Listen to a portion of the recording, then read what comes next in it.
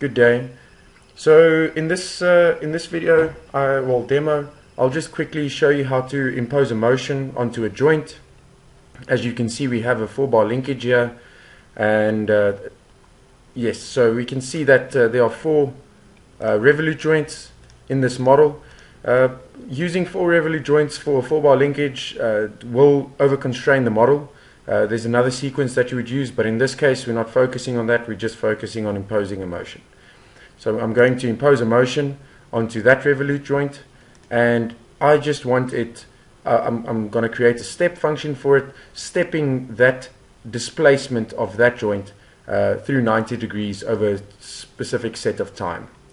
Okay, so there's two different ways that we can do it. Um, I'm going to do it with this driver uh, at the top here. So I can select driver and then it will give me an option between link or joint driver and we're going to create a joint driver.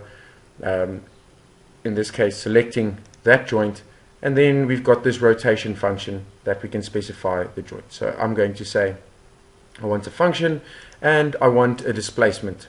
Uh, so then we can go to our uh, this function manager in this case and we can add uh, a new function uh, to, to this uh, simulation. So I'm going to say new and I'm going to go down to our motion functions. You can also use any math functions as are here uh, and they are time dependent. Um, so we're going to go with motion function and at the bottom here we've got exactly the function that I want which is a step function. Just double click that step function which places the, the template for me and uh, in this first case uh, where it says x, we're going to type in time. The reason for that is this first one is the independent variable. So our independent variable is time, and that is that is what what is ticking along as our motion progresses.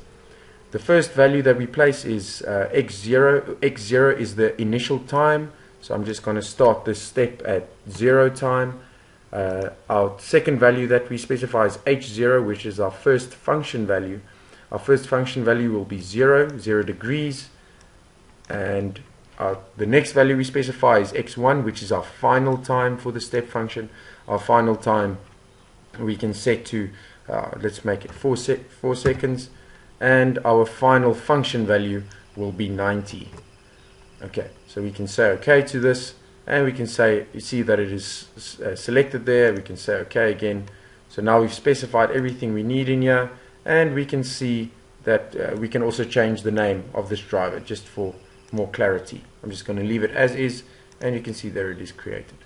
So now we want to actually solve this uh, problem just to see if it functions the way that we expect. So I can right click the motion, the simulation, create a new solution.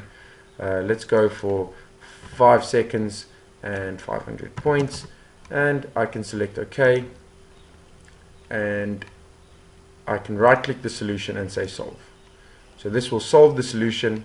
As you can see, as I said, the, there will be redundant constraints. We're not looking at that in this case. Um, we just we're just looking at imposing a motion. So we can go to our results and we can play and we can see that everything moves the way it's supposed to in the time that it is supposed to.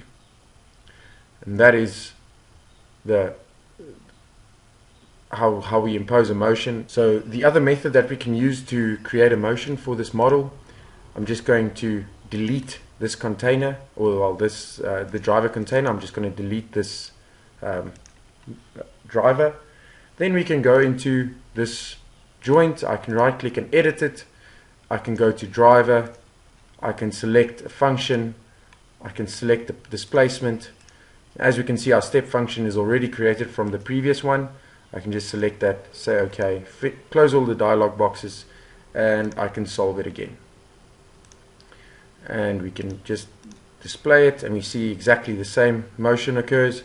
What we can also now do is um, we can just go, we can select that uh, joint, we can see that it has a driver because it's got these arrows, and we can actually plot this just to determine whether the correct um, angle was obtained at the correct time. So we can see that joint driver has got a rotation section and we select displacement, right click angle, say plot and we can see that from 0 to 4 seconds we reach our 90 degree mark and then it just stays there until the end of the simulation.